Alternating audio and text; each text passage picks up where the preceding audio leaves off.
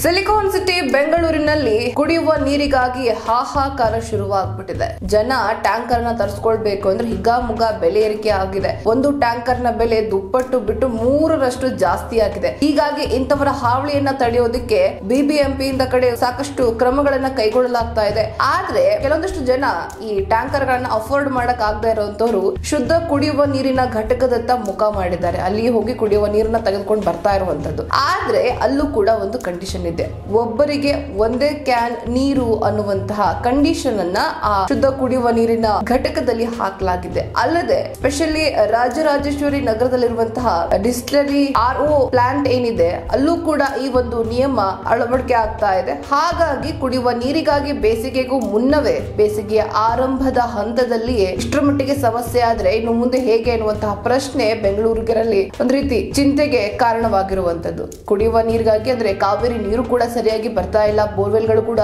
ಬತ್ತಿ ಹೋಗ್ತಾ ಇದೆ.